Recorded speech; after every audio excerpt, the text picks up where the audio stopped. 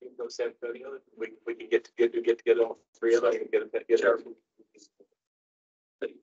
Um, so do we have, um, Aaron and Sharon back online?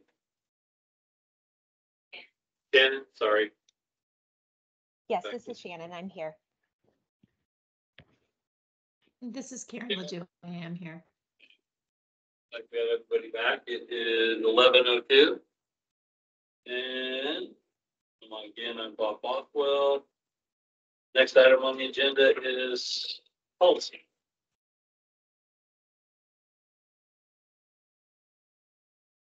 So, um, for the record, my name is Ann Thompson, and there are several things on our agenda, there's four specifically, that were brought to my attention and added to the agenda by Devin. So Chair Devin, if you would like to lead the discussion.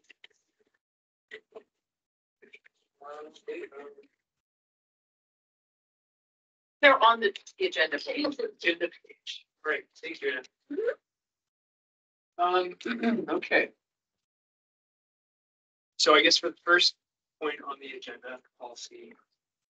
Conversation, um, around children ages six through twelve with problematic sexual behaviors and who treats them.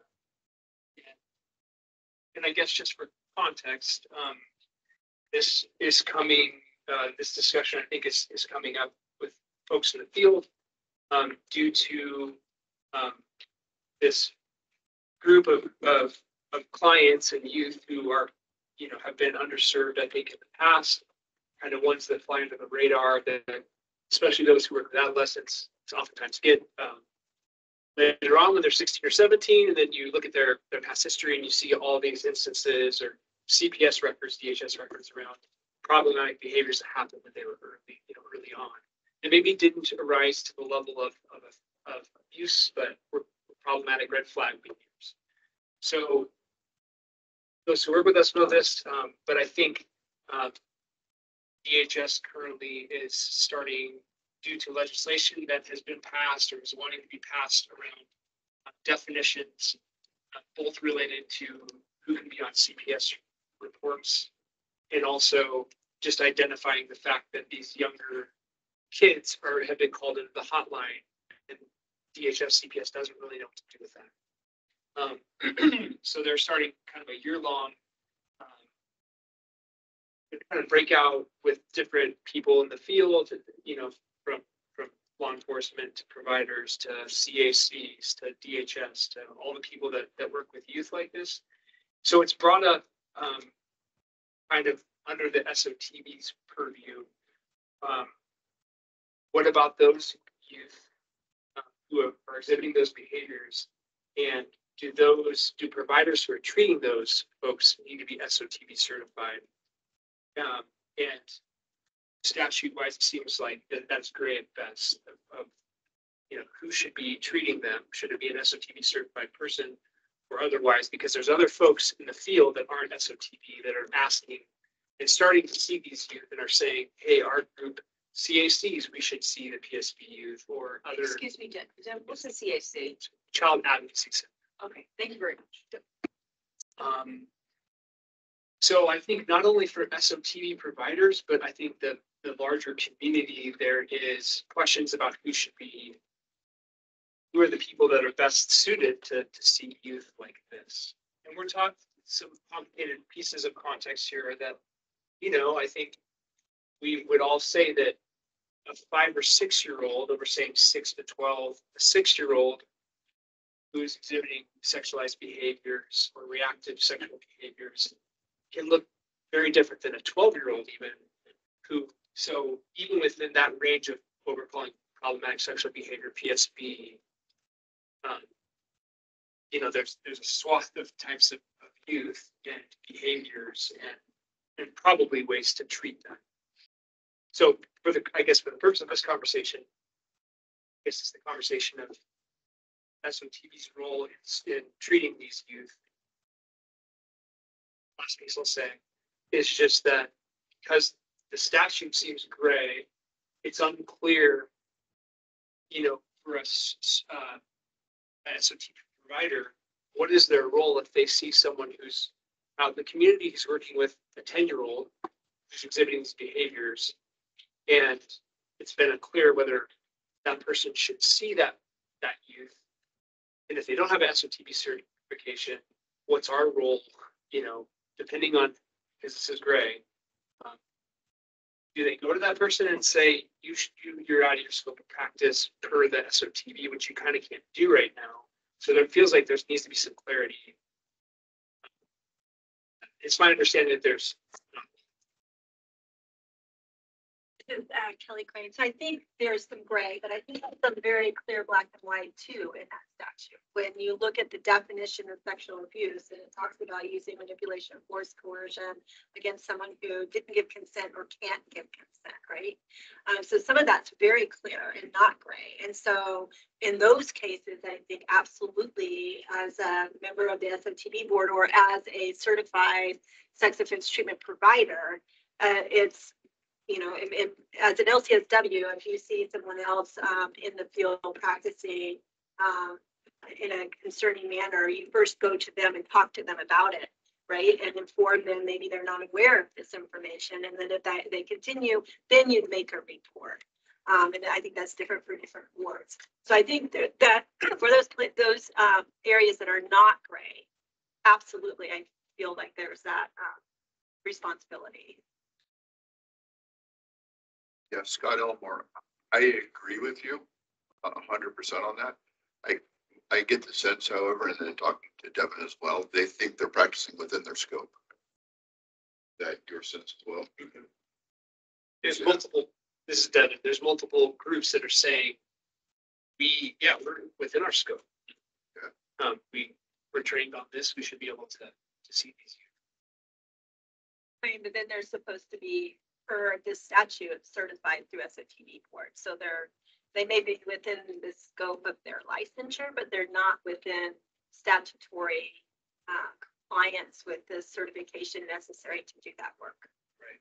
It's a lens issue. I mean, we're seeing it as problematic sexual behavior and they're viewing it as maybe reactive. For example, you know, the, the child advocacy centers, you know, their overarching big national board, the Children, the National Children's Alliance, has kind of taken up, um, kind of nominated, uh, not a great way to say it, but like nominated themselves to be kind of the focal point of all CACs that do this work, being kind of trained. And they've taken on some of these newer modalities like the trauma focus PSB out of Oklahoma. As if if they're trained in that modality, that gives them, then they're within their scope. Or some other modalities rather than boards to be, be accountable. to. So as we look at the next year, especially with this DHS big, large, you know, work group that's convening, that's the pro, part of the problem is that there's gonna be multiple groups that are saying, hey, we we should be able to see these uh, youth. Um, and then those of us who might be part of that have to say, like you're saying, Kelly, um, well, under statute, that seems gray, though some of it does, you're right, does seem very black and white. You can't without an SOTB cert certificate.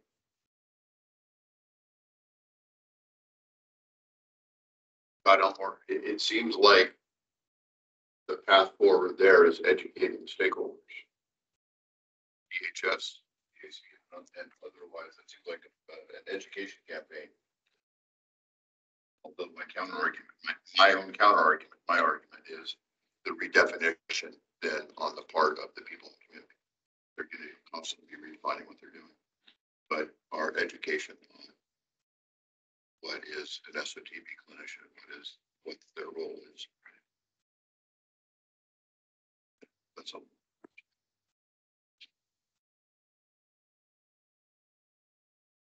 Well, This, is John Thomas. I, I go back, back, uh, you know, the, because we, we operated, you know, in, in our practice, you know, we're we, we participated in trainings, continuing education to learn and develop best practice. And, and so that's what we come back to is that education piece of you know, if you're gonna provide treatment for youth exhibiting problematic sexual behaviors, then you need to understand the best practices over here. Part of that best practice is gaining an SOTB um, certification with through that. uh, uh, That's where, that's my, where where my mind is going this time.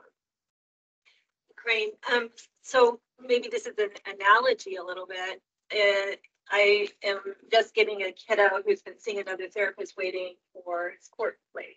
And the family was told by this therapist that they can do SOTD, they can do sex offense specific treatment, and they've been providing that treatment for several months to this youth. It ends up they were licensed in another state, certified in another state to do that several years ago, and they feel like that qualified them here. So even though it might be within their scope, it's not okay, right? So even though it may be within their scope because they took the trauma focused CBT, which we don't know what that really looks like. Um, does that follow the juvenile standards, right, that we have to follow? Um, then, then it's not, it's not okay. Bond, and also I just would point us to, you know, ATSA has created two versions now of children with sexual behavior problems standards of their own. The last was updated in twenty twenty-three. And on that, um, you know, that panel that created those standards is some of the creators of the Oklahoma trauma focused PSB group. And I feel like they're, you know, what they've written is pretty comprehensive as far as um, who they're saying should be treating these youth.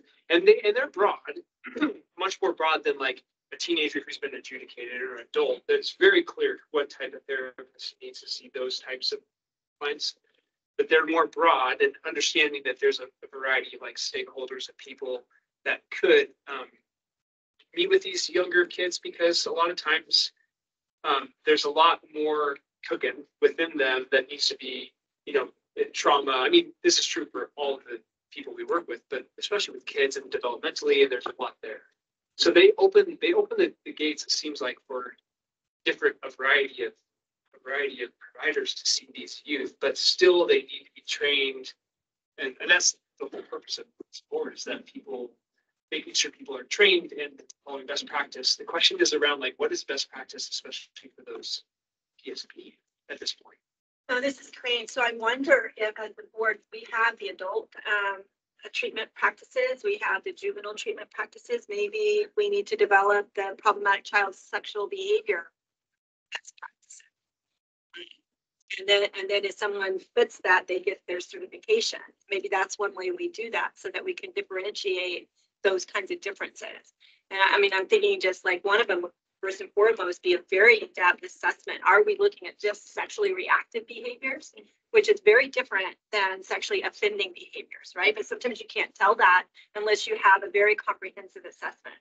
So that could be something that goes into that, that child, the problematic sexual behaviors best um, guidelines for practicing is you do that first, and then based on that, do you need to be certified? And here's the course of tr- what treatment would look like. I like that a lot.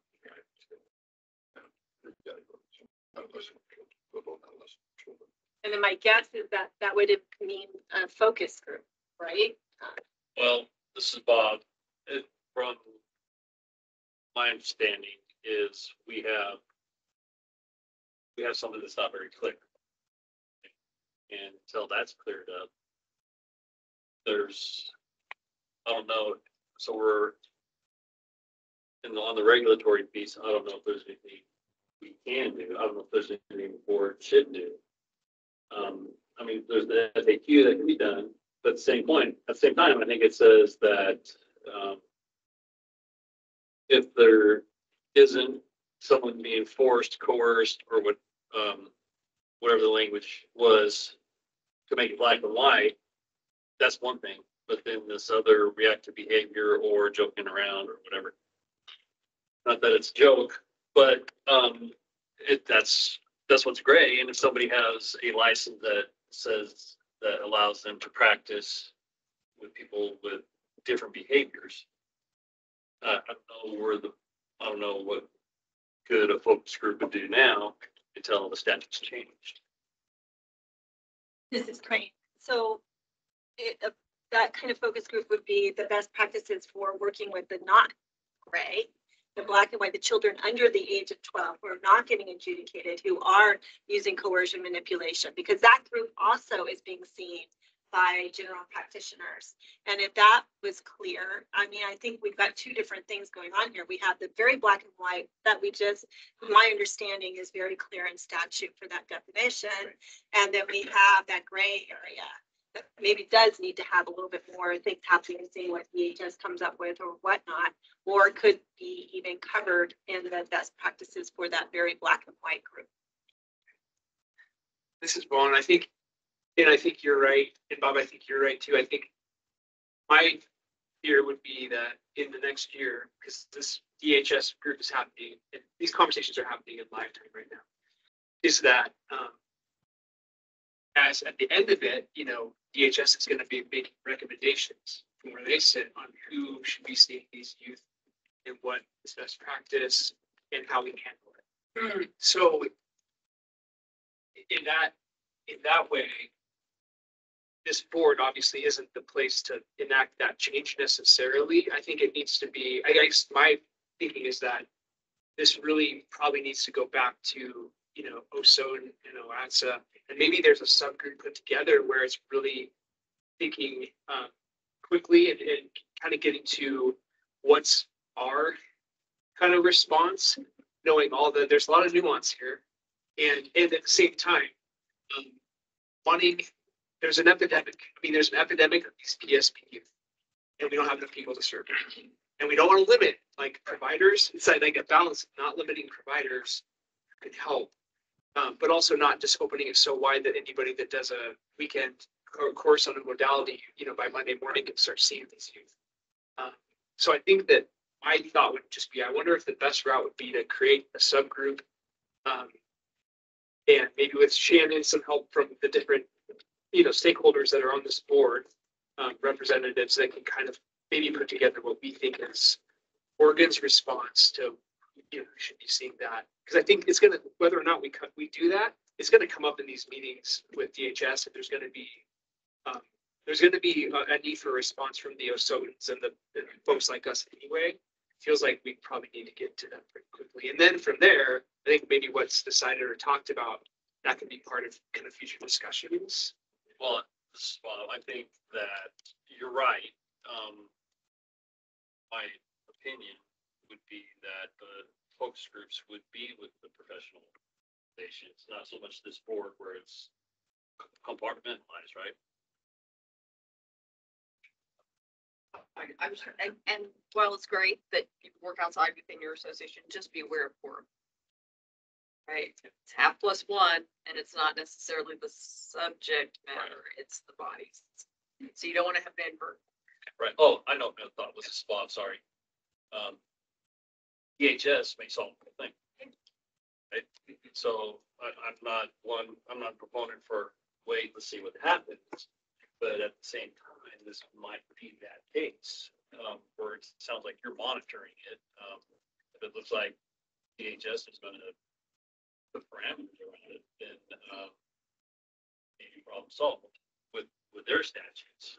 And, um, then maybe, you know, it'll trickle to your statutes that may fix it, or one of the, um, associations bring it to forward saying, hey, you know, to the legislature, informing them that DHS has changed it, therefore it affects us. And this, is- we think this statute needs to be changed, and then the legislative concept is developed and a little bit of a That's my, yeah, that's my question. So if, if DHS makes legislation because of this work group, is that kind of what can happen then? Then it informs other statutes that kind of might be more gray or in conflict and clear it all through. An association, I mean, you're obviously gonna know Yeah. what they're working on and work and talk to them. Say, are you working on a concept? And if so, how does that dovetail with us? Because we wanna make sure that we're keeping pace with change. Yeah. And that, that's happened with our boards before, where they make a change, someone gets left behind. And that would be a great time for an easy opportunity for an association to say, listen, we have to bootstrap some of our stuff in with this, what's about to change, and moving this together serves Oregon best. And then, I mean, if they're already breaking the ice for you, get on board. This is Crane, um, and, and please correct me if I'm wrong, but my understanding of what DYDHS is doing is trying to decide who they are mandated to, um, intervene with. And it's a question on how sexual abuse is defined and whether or not they're doing third party, like, it, you know, um, is that not correct? My, my understanding is that there's two parts. The first part came, it came, both parts came from the first thing you just said, where it was, they're gonna change definitions about who can be like an identified person on the CPS report. And Under eighteen, they don't want to do that. Right. But out of that came kind of an overwhelming response, not only to like that change potentially, but then just the acknowledgement of like, if you take away those under eighteen kids from being on a CPS report, that further puts those kids underground. Because that was one of the ways that those PSB type kids were being highlighted and then helped. So then it became a thing of like, there was a big um, turn of, of, we have a big PSB problem that what they were talking about CPS just kind of flushed out. And so then they decided to make the work group two parts, CPS initial thing, and then, hey, we have this big PSB problem that everybody, you know, no one knows who's supposed to do it or who's best, best practice, and there's a lot of different cooks in the kitchen. So those are the two. So it's now become a PSB thing, this model. Right, I, I believe that, um, one of the reactions they had was being very clear to mandated reporters that when you report, make sure you say if there's been coercion or manipulation or force, because that will require them to go out and assess. Mm-hmm. Without that information, they're not, they're closing at screening. So they're already using that definition. Which leaves out the gray area.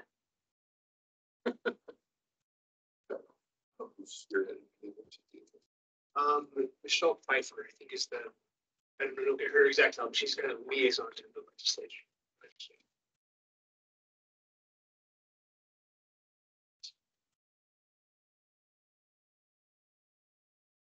Okay.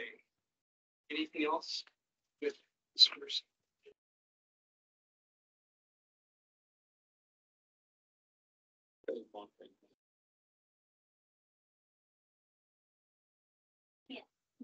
Thing. Right.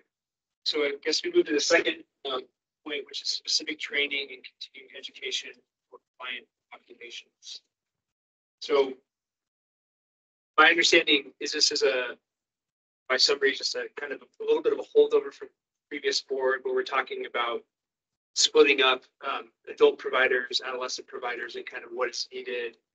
Is it what is needed for um, like the like board, what they require as far as continuing ed and things like that, kind of making it more of like a track-based system so that someone who doesn't have any training or experience with adults, if they're an adolescent provider, would need some, potentially some additional training to be able to see adults. Am I saying that right? Yeah. This is crazy. So this has been on our agenda for years, right, you guys? Um, and COVID was partly, um, uh, a, a- a deterrent in it. And The idea was to do different tracks, like you'd be certified be an adult provider, certified to be an adolescent provider, then could have a dual certification, but it's my understanding through um, uh, what are, what we are allowed to do and what we're not, um, that by rules, we can require some trainings in those areas, but unless there's a legislative change, we can't make different tracks.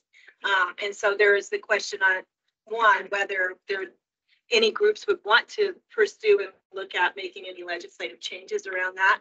And two, um, uh, what would be those different kinds of trainings? And we had tried to put together some, at one point it was asked that the OATSA group and the OSOTAN group have little subcommittees to come up with some ideas of what those differences would be. And that never got off the ground for, our- for either group, is my understanding. I know it didn't for OSOTN, and I'm pretty sure it didn't for OATSA either. This is, uh, didn't mean that COVID hit. Yeah, COVID was a, so whether we want to go back to that, I guess is the discussion. Okay. And then, Anne, could you clarify, so the rules versus statute, so what Kelly was saying around that rules can be added, but the statute would need to change the legislation. So what would that look like if there wasn't two tracks necessarily, because that would take legislation, but rules around what kind of continuing ed needed to be um, pursued by people in, that received those types of. Well, that's a great question. 'cause One of the things we struggle with now is the kinds of training for initial certifications. And, and there were other board members that said, do we really want to further specialize providers? Or do we want to have with our limited number of providers, have them be able to do everything? Right, so there were conversations there, so we never really got any kind of consensus that this direction we wanted to go. I know that certifying people initially, it's hard enough to get the hours that you need in formal training specific to sexual abuse, you know, um, so what would that even look like? I mean, this is one of the reasons we're pushing for a subject matter expert because we have people sending in stuff. Yeah, it's alcohol treatment.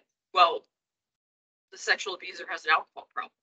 Sure, but that doesn't count. You're supposed to be treating the sexual abuse behavior, right? So it is really hard sometimes to parse out this training and say, is it even applicable? So, and that's the whole work. So the question is, is there enough training out there specific to these client populations for CEs? That you could even get down into the weeds at that level?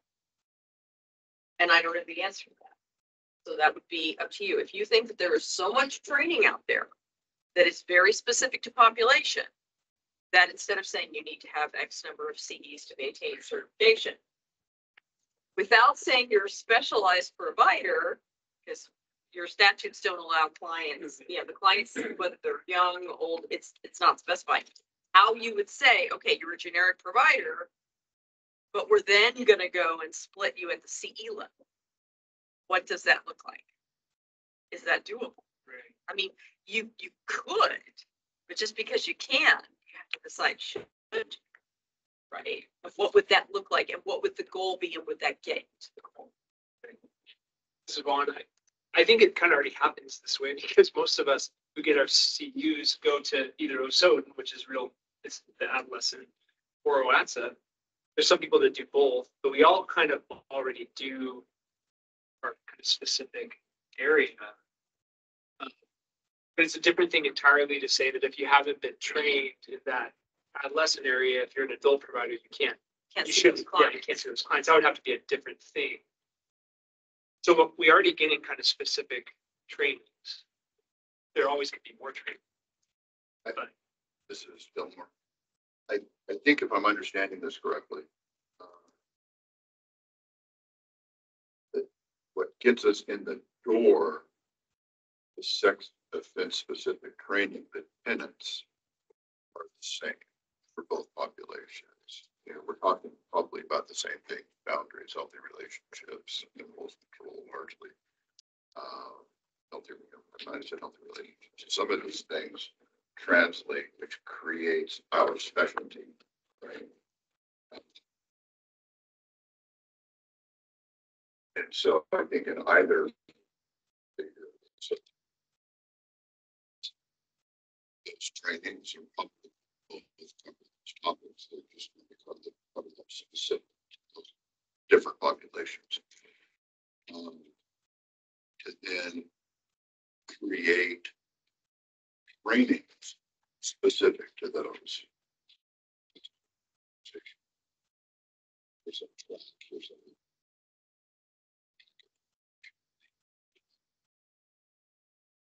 That's like a curriculum. This is great. I think one of the ideas was if you're working with adolescents, you should have some training in the, uh, um, the, the brain development, right? Like, that's really important. And that, and, and I have experienced folks who are working with adults, um, use, um, you know, and, and, maybe not so many, maybe this is specific to that particular, to a few particular practitioners. But when I work with adults, uh, it's been a long time ago, there is a lot more, um, kind of, um, uh, lack of a better word, confrontation, a lot more, um, very rigid Um, and with adolescents, that doesn't fit their development at all. And so that was part of the concern. So if you have an adult provider who is using that model and then they're working with an adolescent, that's not, that's not appropriate. And so how can, how can we have some, um, uh, way of, you know, separating those things out and being very clear? Like if you are going to work with this clientele, you can't use this technique. No, This is Bob, um, if I may, and I'm not an expert in field or any fields that we have, but to me, um, so you have to, to be in this profession to qualify for a license, you have to have another mental health license. But, um, isn't there a carve out in that other license where there is training to, um, work with adolescents? Yeah, brain development and that kind of thing. Not required. yeah. So you can have a mental health license and not get into brain development or working with kids, working with adults. That's your emphasis, like if you went into an emphasis of child development, yes, but if you added, like if you went and got a licensed professional counselor, sort of the generic one, you could skip all those classes. And so, if I may, um, this is Bob again. On another track, on a regulatory track, if, um, there's injury or a practice question, practice standards question. One of the questions I would imagine, regardless of what board it was, the question would be, so if you're treating a, an adolescent, what training you have? And you don't, so, for example, sure, I, I, my emphasis in education was with adolescents, okay, that's fine. Oh, I had no training at all, so what purpose, you know, you know, so then, I- even though it's a gray area, the question raises is, so why are you working with an adolescent where you have no training? I think it comes back to, oh, this is Thomas. Um, it comes back to, you know, ethics that we are following, the ethics of doing what we're doing. We're doing best practice for what we, we went into this line of work because we want to help people. You know, we want to, you know, make society safer. And so we, you know, we focus on the area that we have an affinity for, for um, our treatment. So yes, we, we hope, we do tracks at ATSA or on, you know, with NASW for, um, you know, brain development, adolescent brain development, you know, young adult brain development. You know, addi- if we're gonna do addiction, then we do, you know, an addiction recovery track. It comes back to the, to the individual holding the license and the, that they are following the ethics of doing the best, doing, following best practice for to serve the population they're delivering. So, you know, you know, if it would be similar to, you know, someone providing um, substance abuse recovery, but not holding a CADC. So it's, it's, it comes back to the individual, and I think we've already kind of been there, is that if an individual is, is practicing outside of their scope, then we go to them. We may, you know, if they continue to do it, then we call, and then we contact the BLSW or the L, the the LPC or LMFT, whomever. And, you know, to, there's a track for that, Right. but it comes back to the ethics of the, of the, of the provider. Right. That we're doing our level best to meet the needs of our patients. So this is Elmore, so, so you're saying that if the person didn't pick up those classes in college, for example, they could pick up the training in CEUs Yes, and be ethically competent, I believe so, yes. Just summarize. From a, from a, yeah, from a blanket statement point of view, because, you know, we, you know, that we do run into provide, this is Thomas.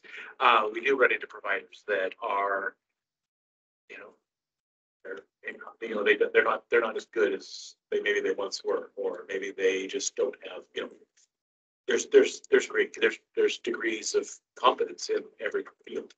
Oh, absolutely. Yeah. So the ethics, this is Bob, the ethics you were talking about, is that personal ethics or is that ethics within licensure?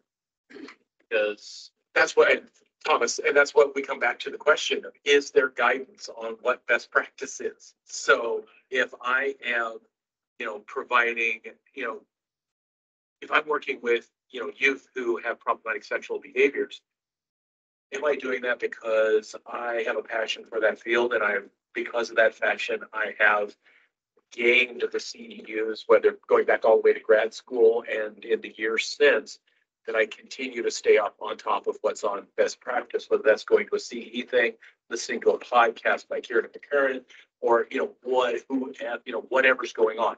Am I doing my best to make sure I am the best therapist for my clients that I can be? Well, John, if, if I may, um, Suzanne, I think that, and I talked to Devin about this, I think that what some of our boards, most of them really struggle with is board members are A plus players, right? You guys are in this because you're competent, you're tip of the spear, best practices. Yes. Unfortunately, in the regulatory world, rules are the floor, not the ceiling. Okay? You can always do better, but you can't do worse. Right? I That's a good way mean, and that's what people struggle with.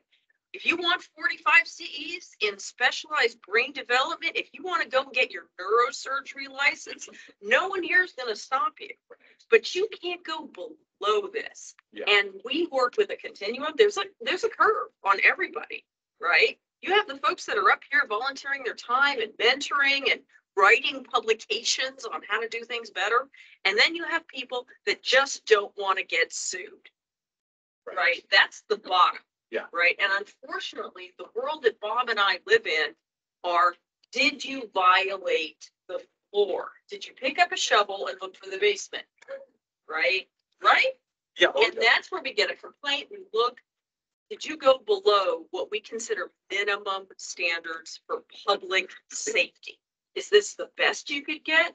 Maybe not, but did you break a law or rule? And that's what is so hard for folks that are sitting in your seats to kind of square with because they want to do, you know, improve the profession, do all of those things, offer better services because it's better for everyone, right? Right. But unfortunately, we have a slightly different lens that we're working with, if that makes sense. So, uh, Tom, and I just to add what Ann- Thomas, um, is we all know people in our communities that, you know, when you hear, oh, you know, Susie's seeing, you know, Bob for therapy, it's like, maybe not. I mean, he, he, you know, another branch of the, what you guys do here at the HLO, you know, you know, tattoos, is we all know those tattoo parlors in our town that you don't go to, even though they hold a license.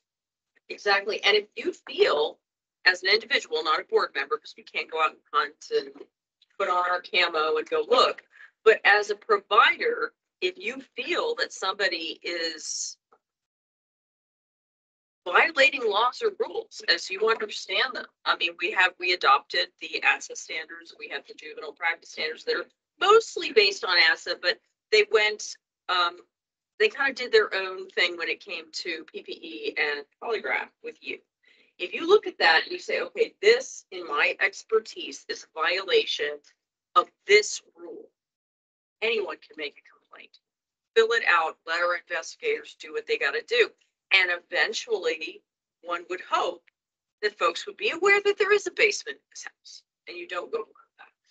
This is Vaughn. So, I mean, knowing that and just curious, this is a great discussion. I think, I'm wondering if those best practices you're talking about already exist with the practice standards that are set. And so they speak to, I don't have memorized, but they would speak to like what kind of training, what kind of background you need to have to provide services to adults. What is your or scope of children. What's your scope, competence? scope of competence? So that's already, so I guess I'm wondering, knowing that, is, and I don't, I wasn't on previous boards where this was brought up. Is it good enough? Do we still pursue like two tracks as has been suggested, which would take much more legislative? It would need to go back to the different OATs, so different stakeholders to, to have those conversations of like, is this really something? Or are we good?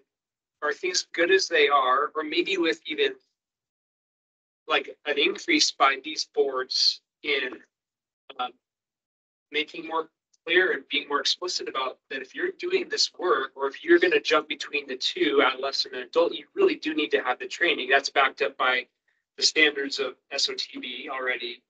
And and and then there's a little bit of like self policing um, amongst us. If we see people that are doing that, it's a it's like we would do otherwise. And any, any other like any LPC for me, where I'm like, if you're doing a, a modality or working with somebody with trauma, but you don't have trauma training, and I know that to say that person, hey, you should really be having this Is training. that something OSOP, this is Ann, is that something that OSOP could do? within your community, especially since you're talking about so much youth, maybe work with these CACs and, and reach out to them and say, hey, here's some resources? Is that, I think that it's something that's, uh, you can speak to, to that more than me maybe, but I think it's very much something also can do. Traditionally, it hasn't done as much, but it definitely has the capacity in its bylaws and what it's created to be, absolutely. Yeah, this is. I think there's a lot to what you're saying, Anne, and I think given that uh, child welfare is now opening up this Mhm. discussion, um, I know uh, we just recently had a conference and um, I've had several people from CACs come to me and saying that parent panel where we really get the problematic sexual behavior problem or these families weren't getting that help and then there we are adjudicated. I think that's really is, is going to be a- a door opener for some of these conversations. But what this board can do is, is different, right? That, that's Very not much this so. board's role, but certainly O- OSOTA and OASA can, can look at their perspective. But I don't, I'd have to review again the juvenile standards. I'm not sure that they mention anything about training, that I could be wrong about that. So I think a review of those and then to see if we see anything there that maybe we could add. Uh, I don't know if that means opening up a whole new focus group or what that would look like, but I think that would be the If there's not first step. clarity. If there's not clarity, that right, would if be. you don't have the tools you need in the toolbox that was built, then you can best decide, do we go to Lowe's? Do we build it ourselves, Yeah. right? Like, you know, you have to kind of decide what you want to get, what's missing, how's the best way to get it. But this board is about public protection. It's not about professional protectionism, which is making sure that we have enough providers, making sure those providers get compensated by insurance, making sure, you know, we can't promote the profession. Oh, this is something you really want to do. We can't be in a salesmanship role, right, when you're sitting here. But you're here because you have perspectives from other associations. And associations absolutely can uh, speak with an opinion, whereas here we have to be Switzerland. You can absolutely pick a border and fight on that border if you want as, but you have to make sure it's also, if you're a board member and they know you're passionate and everything, when you're at legislation or you're at one of these meetings, say, listen, I am, I have a seat on the SOTB board, but I am here as a member of OSO, making sure that kind of thing. And that way everyone knows what hat you're wearing and the lens that you have, you know, if that's useful. One of the, Bob, one of the things, and we'll back up just for a second, that, um, comes to mind with some of our other programs here is when we discuss training, um, or CEUs and the, and the board can say, you know, maybe CEUs and whatever. The question is, is it out there? Yeah, it's It, it's, available. it's one thing that, you know, this is a great idea, but is the tool out there available for people to get readily available? Not, And you is know, it affordable? Because that's the second thing people want to know. Um, just to building on what Bob said, because I wish I would have thought of that. Um, a bill came out a few years ago, twenty eleven, I don't know if you know about it, where certain boards were called out and mandated to take cultural competency continuing education. The boards could decide how much, but they had to have it. And strongly encouraged to take courses that were approved by the Oregon Health Authority's Office of Equity and Inclusion to make sure they hit all those but checked all the boxes. Well, when this was required, the Office of Equity and Inclusion didn't even know about this. Okay, they had, when it was suggested in a previous bill, boards didn't bite it, not because they didn't think it was a great idea, because there was nothing on offer, right? Well, there was still nothing on offer and it was mandated. And the stuff that's gotten approved can be really spendy. And the struggle that we have with our licensees saying, I have to take this, I've already taken it, there's nothing new and it's two hundred twenty-five dollars. And we, we're like, yeah, we know. It's not ideal. So when you're thinking about stuff like this, also think about cost. Also think about if, if there's an association meeting or, you know, something where a training could be put on where you could educate a lot of people at a good price point, maybe put it online. Just keep all of that available because you want people to learn, but you don't want to make it onerous. Right. If that's useful. Fun, that's great. I think the, to use your analogy, I think it's a great analogy. I think the thing that I'm coming to like kind of summarize is like we just, I think we're all wanting to just know what the real clear floor is for adolescents, for adults, and And even the standards. for the last, I mean, for the last point of the, of the problematic sexual behaviors, what's the floor for people with that? I think that's what I'm, that's a good way to put it, because I'm just, so I think that there's a lot of things we can do to help establish the floor, not necessarily in here, but outside of here, and then I think, um, and then coming back and, and having a conversation. Chair, if I may, um, Shannon has her hand up. Hey, thank you. Um, and this is going back a bit because I, I was waiting, but I just wanted to offer um, outside of the board, if there is work around wanting to look at OATSA or O- OATSA, um, working on some of these additional training tracks and, and best practices recommendations, SATF would be happy to support with that. We are working quite heavily with CACs right now on a similar process for serving pediatric victims of sexual abuse. And so there might be some integration or collaboration that could help that process along. Very helpful. Thank you, Sharon. Thank you. Yeah, thank you, Shannon. That's amazing. Thanks. And Vaughn, um, Shannon, thank you, and it's been great to have your folks be part of like Osoden and Eli, Megan, and Yeah. um, I think that connection, I don't know if it's happened previously, but it's like, that's a, a great direction for all of us to go, so we have all voices, and they're, they're so great, and, you know, we, we need that. Absolutely. Thank you. Yeah, we're we're so happy to collaborate because it's um, you know, none of us are trying to solve this problem alone. So so happy to do that. Okay, so Vaughn again, is there anything else on, on that? So this is Bob, if I may. So it sounds like, um, with the first topic with adolescents, this big training thing with adolescents, is kind of, we're just gonna kind of monitor it and then maybe gather some information and then feed it back to Ian. If- That's my- things come up. That's my sense. I- I think we, outside of here, have some direction. Yeah, this is great. I think we've got some very good um, direction for our um, organizations that we're representing on this board to do that. And I do appreciate the, the idea of like, is that training out there and is it affordable? Because that has been an ongoing discussion that OSOP has had. And, and we do do some of that and it is tough, right? But Yeah. I mean, just getting the, the hours. I mean, there's some folks, and we've talked about this, who stay secondary clinical Right. because they're never going to get enough hours with clients. Um, you know, we have folks send us in packets of information and saying, well, surely there's forty hours in this or sixty hours in this. And we have a brand new qualifications person who's like got an omnibus of education and is trying to pick through and it's, it's just really, really hard to find information that's not just qualifying, but helpful, really specific and helpful. And if- if I may, I'm not trying to soapbox or anything.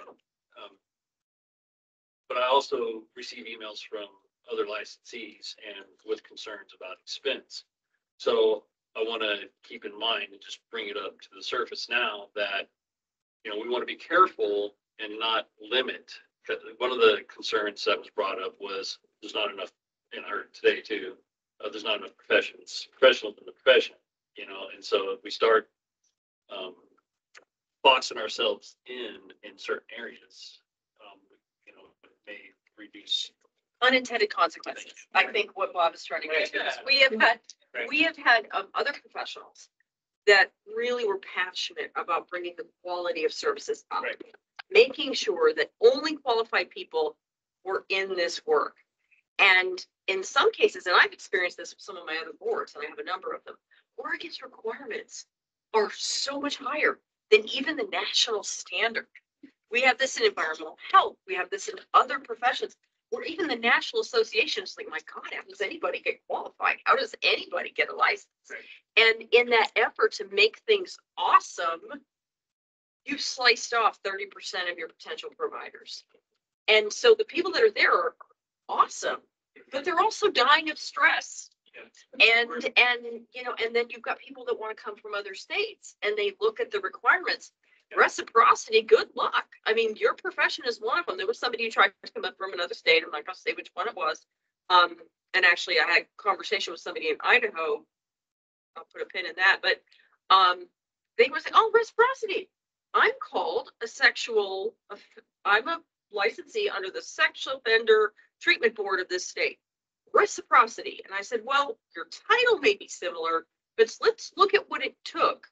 Is your education, training, and supervised experience substantially equivalent? No, not even close. And they were like, oh, well, that's a lot harder.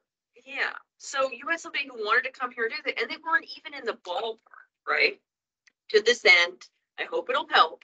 Um, I got added to a knowledge share group, Idaho, Colorado, um, and a few other ones that are struggling with the same thing.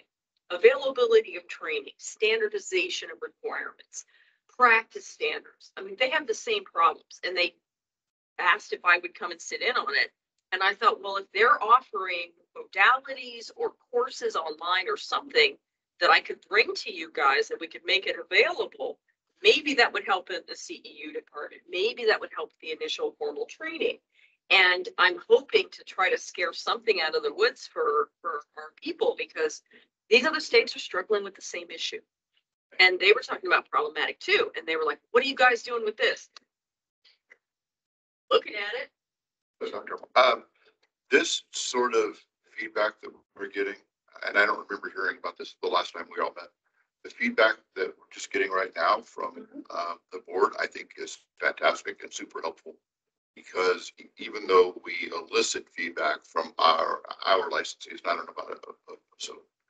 Um, the raw feedback is fantastic for us to take back to Yeah, to our board. This Bob, and we're looking at it from a total regulatory lens, you know, what, you know, selfishly, how's it gonna help us do our job, but at the same time, uh, you know, make it pliable, plausible, easier, applicable for, for the professionals as well.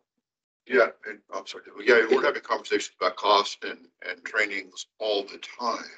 But to actually hear from the board that we're still not hitting the mark, uh, is very meaningful to, to my board. What mark are you talking? Uh, I'm sorry, I say that, as- What, which mark are you? uh, like, we're not, hit- like, maybe our costs are still too high, or maybe our trainings aren't uh, enough for these sorts of things. These are Okay. common conversations we're having, uh, and it sounds like we're still not doing it.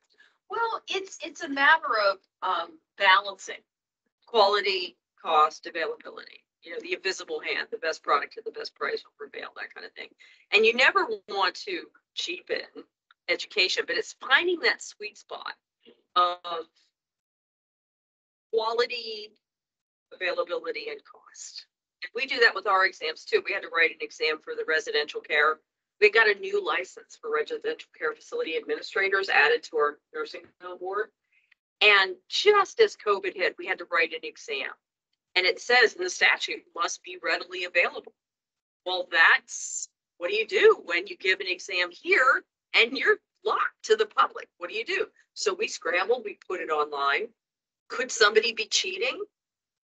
Yeah, you gotta balance accessibility with the potential that they're cheating. And, uh, you know, so there's always, you can, there's no one answer. And remember I told you when I, I did the training that good rules and good policies don't make anybody happy because everyone had to compromise. And I think you're starting to feel some of that push pull and, and I, I appreciate it. Well, and last thing I'd say, just was gonna go off what you were saying, is just, I think there's been a misunderstanding, uh, misconception in our field of like the SOTB's role. And so I think it's been helpful to have some clarifying conversations and some of these things that I think we need to take back and really empower our, people, a lot of who are, yeah, they're the front lines folks and they're people that have real vested interest in this. And I do like the idea, I mean, just the, the thought of trying to balance, yeah, these high standards but making the gate as wide as possible, because I felt that too. That's the perfect way to put it. Is like, I felt like the gate needed to be there for SOTB and, you know, to, to, to hold our, everything accountable for the safety of the community. It got real narrow and heavy to get into, which in the end, it's not about like profession protectionism. If there's no providers, there's no safety, you know, so there's part of it where it's like, we have to keep that in mind as we're talking about this, in what ways um, can we make it accessible uh, to that new generation, especially with therapist providers coming in. That we want to have. Um, Great conversation. Did you get as far as the clarification? Are we good to? Yeah, I think right now, what I understand, and you've been very good at reaching out, you know, and any of you who get an idea for an agenda item, I'm your girl. Mhm. Um, we had a great conversation and out of that, I tried to distill some of your topics. Um, if something happens, let me know. Uh, we can add it to the agenda, kind of a how's DHS doing?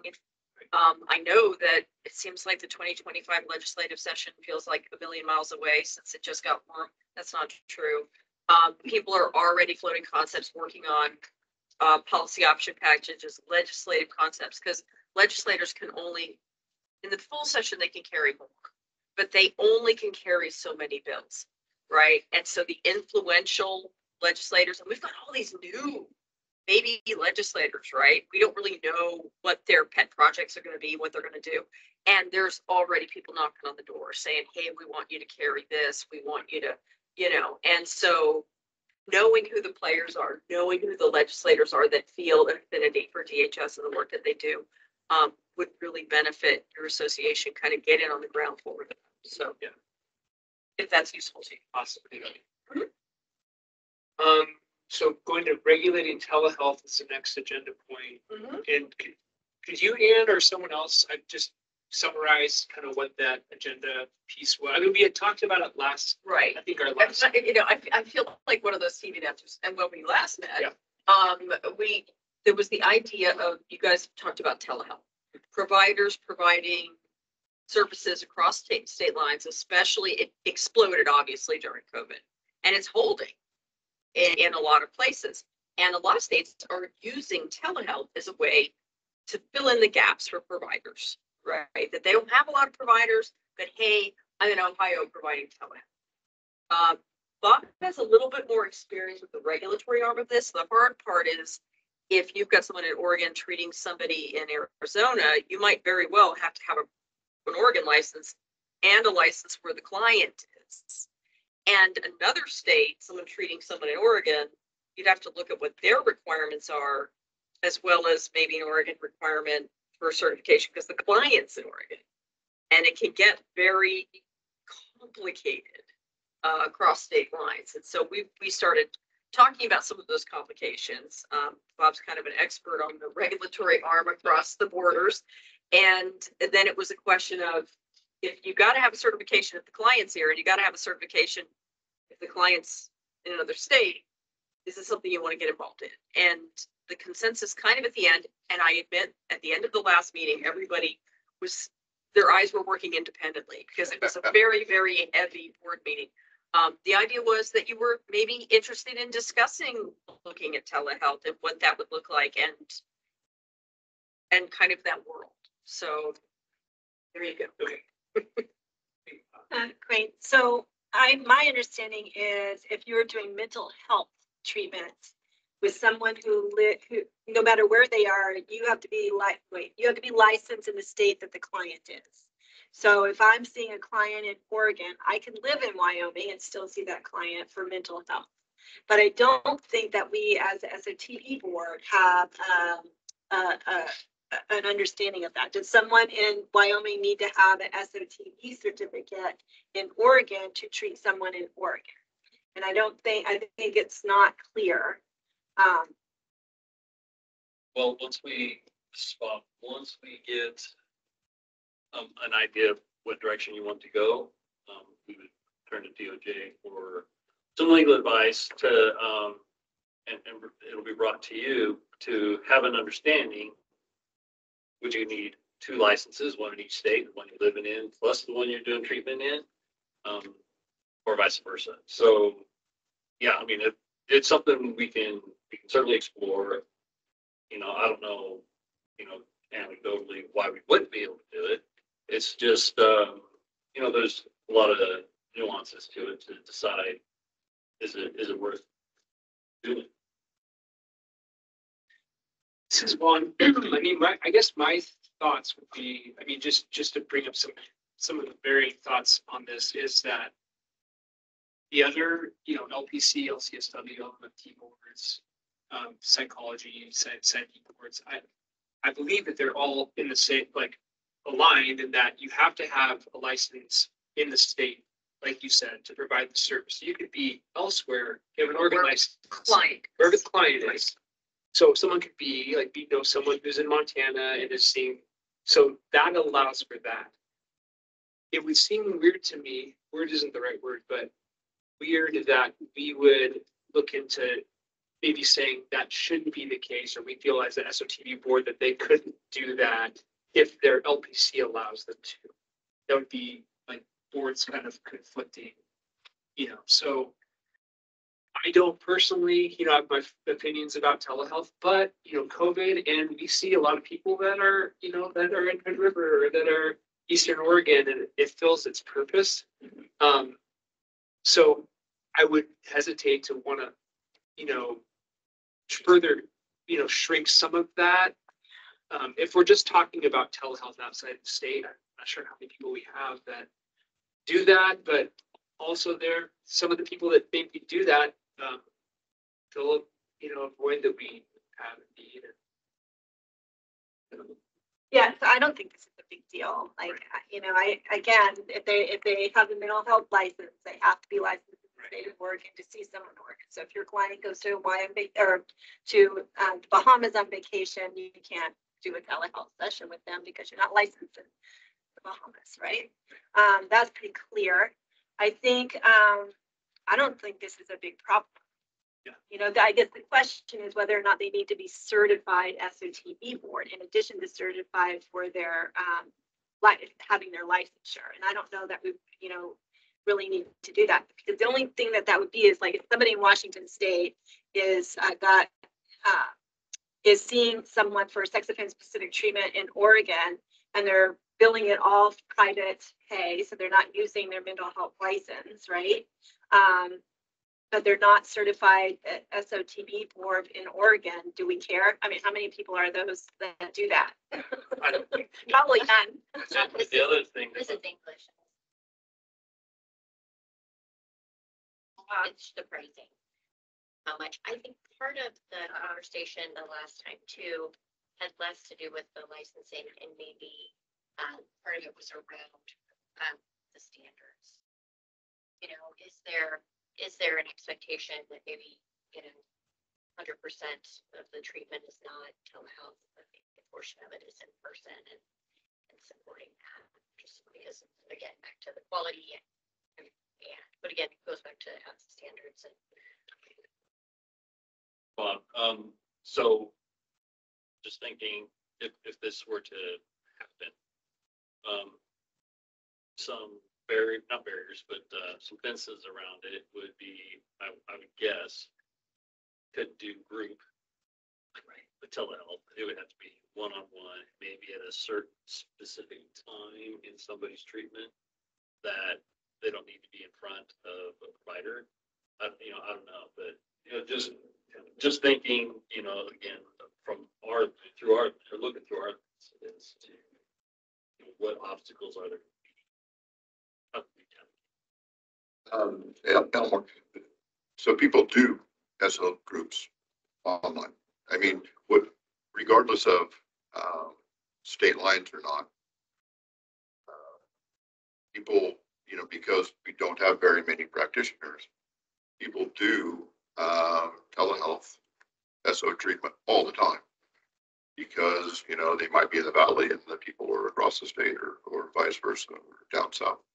Uh, so, um, it's not my favorite method of treatment, although I do know plenty of practitioners who do uh, online only SO treatment from start to finish, groups and not groups, you know, because it's just filling the need, as Devin was saying.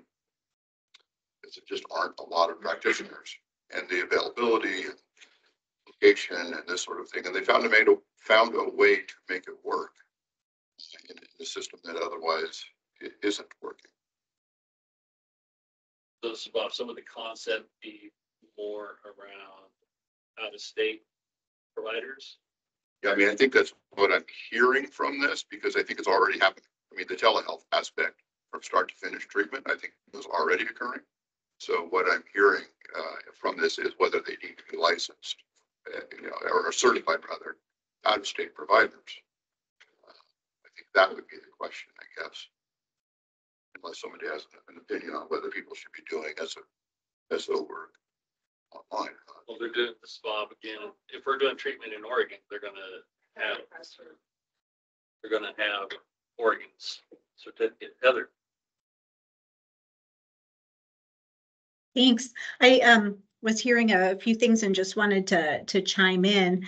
Um, the conversation in regards to, um, Eh, like you, you, there had been mentioned, not necessarily whether telehealth is allowed under the license, but whether the board wants to take a position on regulating any aspect of providing services via telehealth. If the board feels that there are certain practices that need to not happen uh, via telehealth, but would need to happen in person. That would be where the conversation, the rule writing would be is to regulate that piece or whether the board feels that just its regular rules apply in that regard. Um, it would be that type of conversation about whether rules are needed to separate out where the board feels that uh, telehealth should not happen. On. So I don't, I guess we can discuss, but I'm, I'm not feeling the need to like regulate, um, any of the pieces that Heather just spoke to. Um, I think that there's folks out there that are doing telehealth and some people even that are just doing only telehealth. And I've heard of, you know, certain juvenile departments or certain people just not wanting to use that person because maybe they think an in-person provider is better. And so they're making those choices to kind of get who they want. I haven't heard of anything, you know, any out of state folks, that being a big, big problem, you know, any big issues. So I guess I'm not feeling the need, um, I don't know if you all are feeling the need to, to go further with. Well, we were just drying sober from the last meeting, so if we're, we're good for that right now, um. Right, just clarification, you had said that there was a problem, like you're on the border. Can you explain more what that looks like? I guess my, so we have had, um, providers from Washington State, were there, right? Um, providing evaluations, um, for treatment and, and there's just question about, you know, the same standards of practice and, um, and so that would be my concern for, for, you know, even as far as South Dakota, um, providers reporting to be sex offender treatment providers that don't really have training. And so, uh, I guess I would just, but it sounds like we're, if you are, please, right up, um, if you are providing service, sex offender.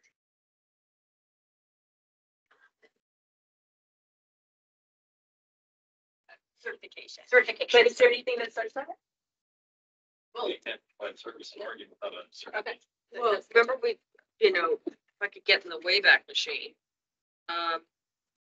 It talks about sexual abuse specific treatment means the process of evaluation and reformation. And then it says a person may not, in six seventy-five, three seventy, engage in the practice of sexual abuse specific treatment unless they have, um, certification or an exemption. From Oregon. Exactly, exactly. And So- the exemptions are actually outlined, um, a student enrolled in an approved educational program who's pursuing a graduate degree in a mental health field, a person employed by a local, state, or federal government agency, community, uh, community mental health program or drug and alcohol treatment program licensed or certified in Oregon, if the person's activities and services are within scope and within the person's scope of employment. Or if a person's a recognized member of the clergy. Those are your exemptions. And if you go to legislation and you add exemptions, take them out, that would be the time to do that. But this would be a person like in Washington who is not certified in Oregon, they're certified in Washington, so that would be, that could be up to a board complaint because they don't have certification. So so it's not necessarily telehealth, it's a more of a licensing. A licensing issue, or, you know, again, if it's parole probation and they're not contracting, you know, sometimes they have to contract or they want to con- contract with uh, certified providers. Then it would be trying to figure out who's doing what and under what authority. And then it might be a complaint, you know. I'd have to see. This is great, just a anecdotal thing. I have over the years several times have treated kids that were adjudicated in Idaho but live in Oregon. Right? So they're being treated in the state where they live, but there's a contract with Idaho to provide that service. And they Yeah. certainly want me to be certified in my state, Absolutely. but with my contacts with the states around the, this is something I, I used, I spoke with her for about an hour. I used my opportunity talking with Idaho and, you know, some other states, don't forget, we have our practice act, you know, some states don't. You know, they're a little further behind us that way. And they're like, oh, you mean it's a thing? Yeah, it kind of is. So just, just so that you know, I'm trying to get that information out there from my level, not in a promotional way, but an educational. It's, uh, so you'll settle. Oh, absolutely. Yeah, no, I, and honestly, the, I'm sorry, English. Um, dealing with it, it's been probably four or five years, um, since we had this issue, and so understanding now. Uh, Well, and going from a, remember, it takes things time, it takes people time. That it, this was a voluntary certification in government terms, it wasn't that long ago. You know, that, and take COVID out, like, because that was like a whole gap in time. Um, that it was voluntary for a long, long time. And somebody might, I've had people with questions based on rules that they send me that were repealed in twenty twelve. People don't always stay current right? So they might be still operating under the assumption that it's a voluntary certification, it's not. So, education. Okay. So now to licensing requirements, including forensic evaluations. And reminder of just, I mean, what we talked about last time. We want to, does the board want to make any? Is that right? Any recommendations based on? Um, it's my understanding that there's a FAQ. I mean, sometimes when there are issues that people continually get confused on, um, the office can put an FAQ together. We did this for our temporary staffing agency program, where we're dealing with companies that are not in state.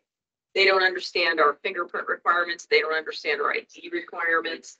Um, we need a social security number. We had a company in Europe. We don't use those. What do we use? You know, and instead of having our valuable staff on the phone all day long answering the same questions, we put a little thing together that says if someone's applying, send them this and it will help them, right? So it's my understanding that if you feel like there's enough confusion in the community about forensic evaluations, um, I know that at some point there was some assertion that they needed to be certified and then there was some pushback and all.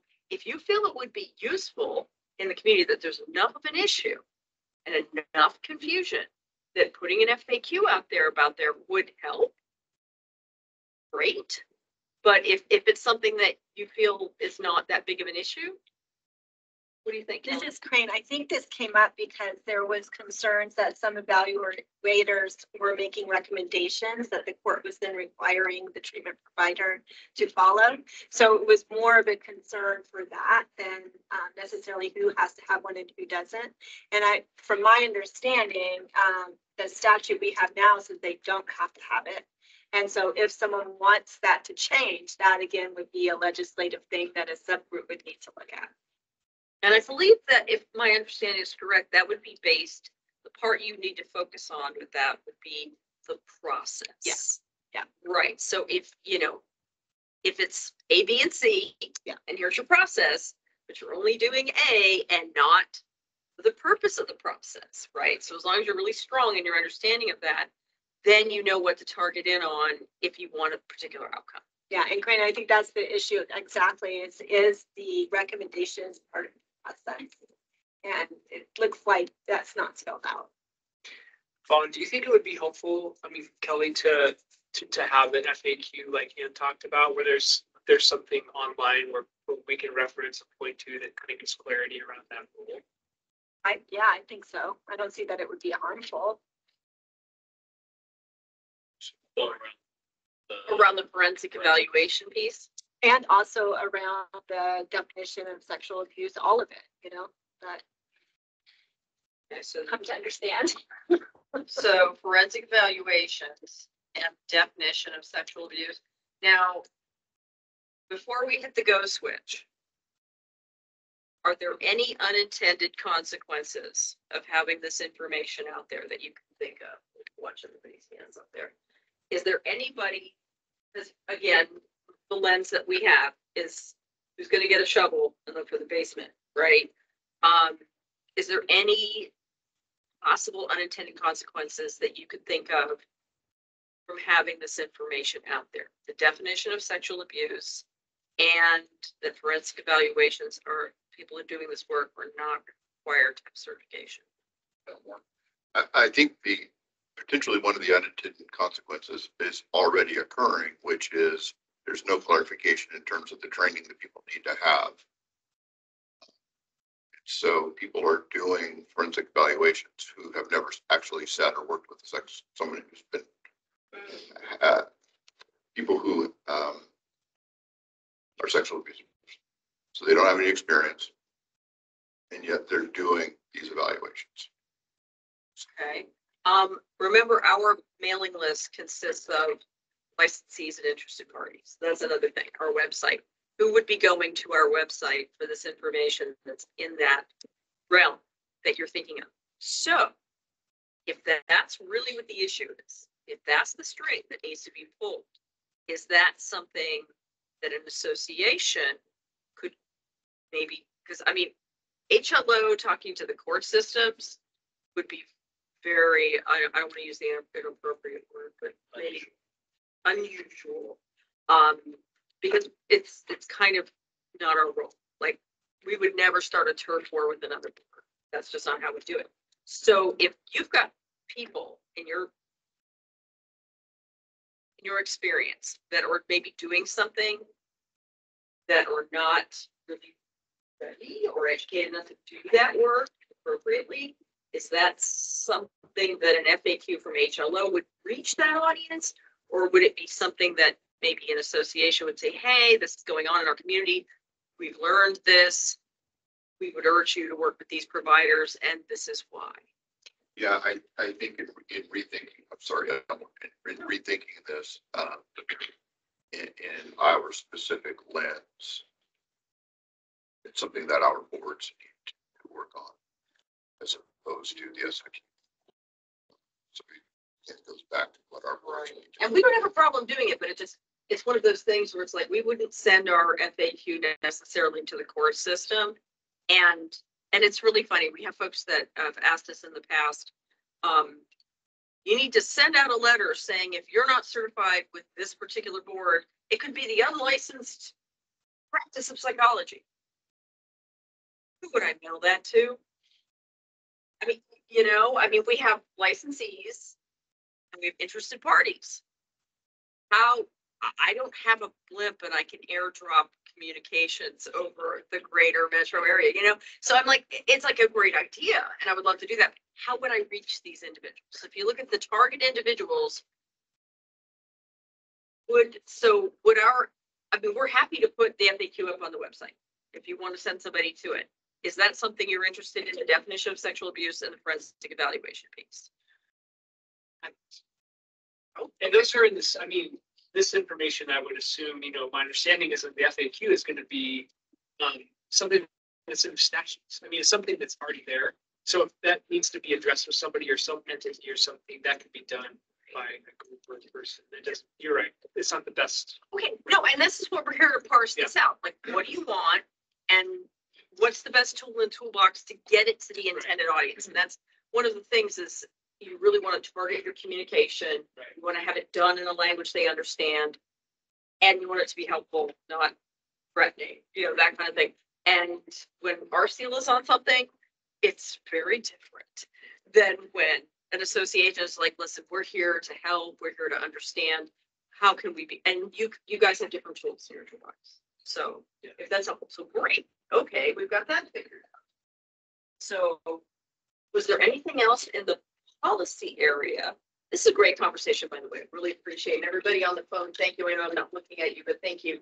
Um, is there anything else in the kind of like policy area that we still needed to talk about? Or we could check with our public interested parties for feedback? Nothing on, nothing for me. Anything else that we missed? Any, anybody here on the screen? Poor John stepped out for a moment. It's been really robust conversation, though. We really appreciate it.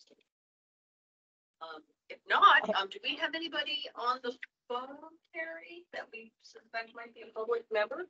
We do, okay.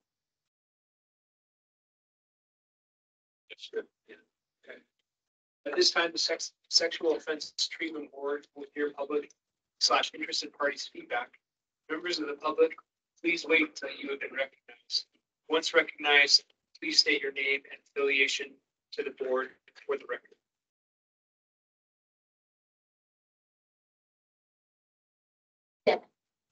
Devin, Another Devin.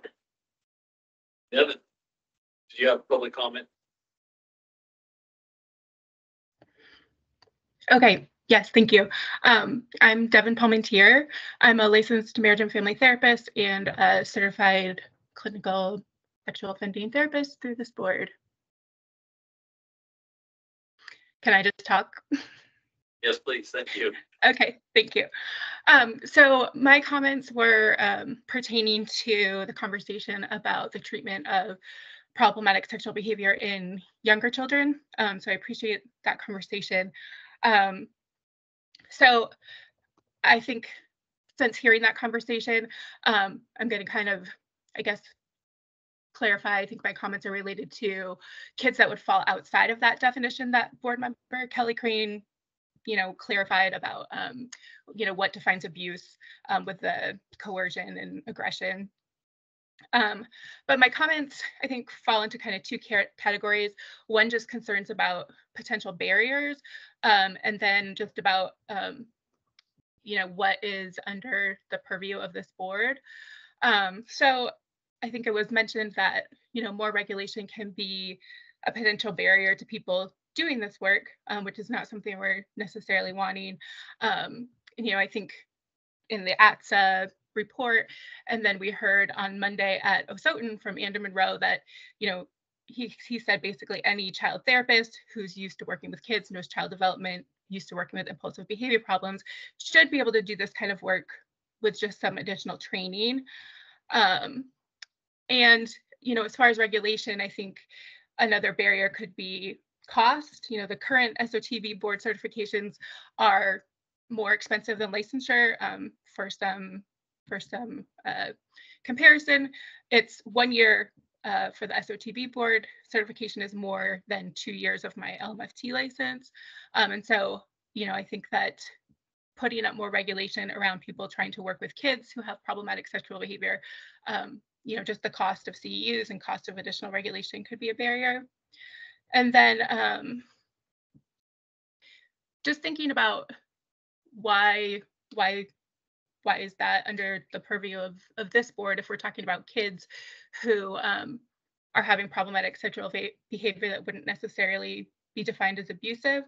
Um, I was curious about if there's any evidence of harm um, by providers that would necessitate regulation of this by this board because I, you know, that's one of the reasons that we have these boards. Um, I'm concerned about identifying problematic sexual behavior in youth, putting it under the category of offense-specific treatment, um, since that's what um, this board regulates, and that you know having having it regulated by a board that has sexual offense in its name um, could create some more stigma for those kids and could indicate to the public or to families that the kids are kind of dangerous in some way. Um, and then I was just curious about, it seems like maybe an expansion of what the board is regulating, if they're regulating, you know, offense specific treatment at this point, um, that regulating the practice of licensed clinicians to sort of declare specialization um, if it's kids with problematic problematic sexual behavior um, seems like maybe beyond what has been done or beyond what maybe is under this board. And so I was curious about the process for a board expanding that authority and is there like a precedent with other boards?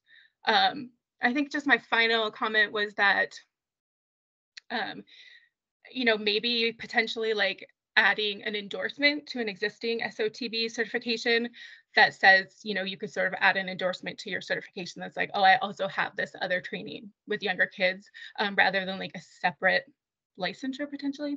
So thank you for hearing my comments. Yeah, thank you. Thanks. Nobody else?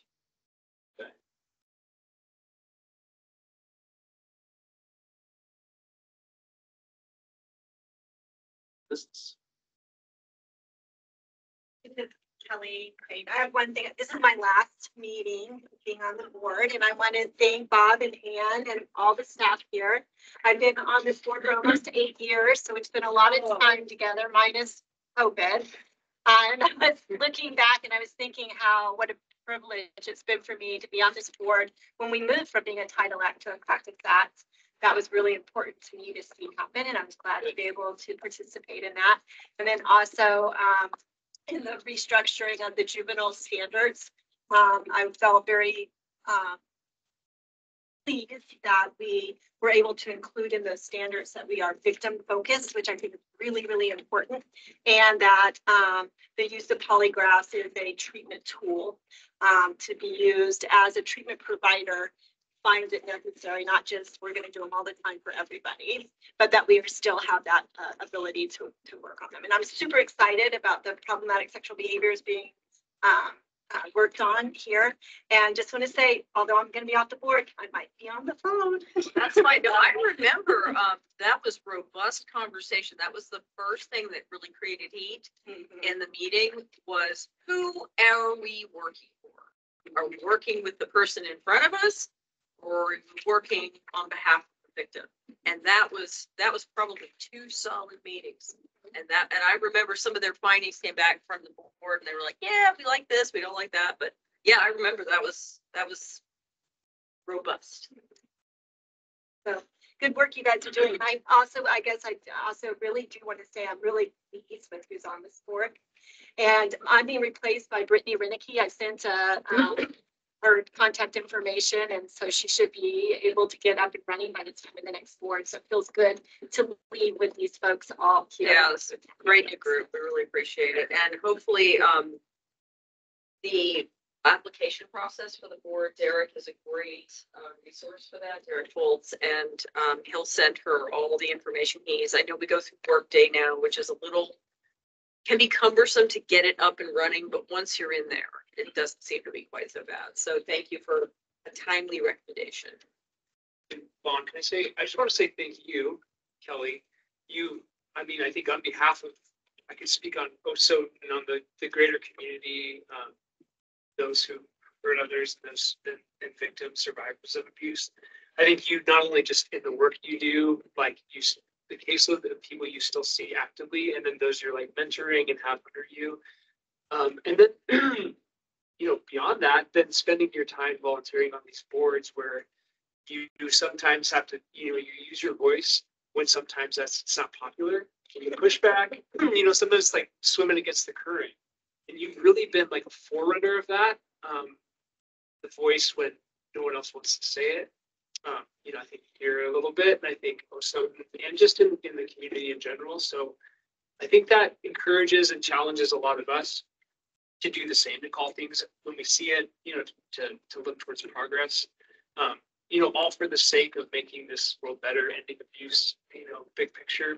So we don't say it enough, but we, I want to say thank you for the work you do, and it's, you're making an impact that's lasting beyond, you know, your time on the board or the boards. In Thanks. your work, it's gonna go forward, so thank you. Thanks for saying.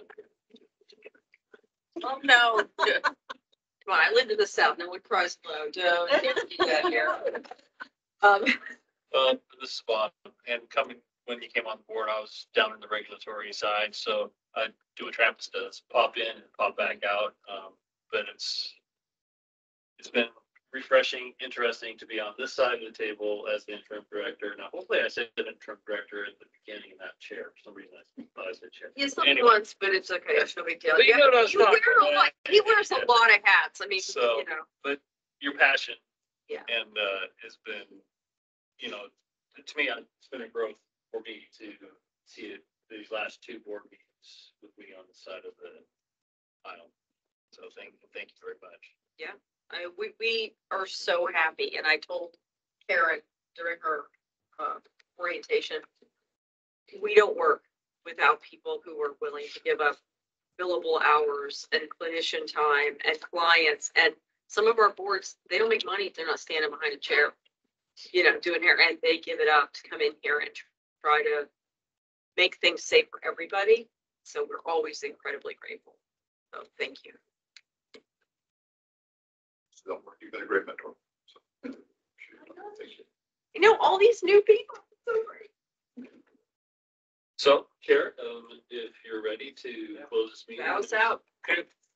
Sexual Offense Treatment Board meeting is adjourned at twelve thirty-one. Yeah.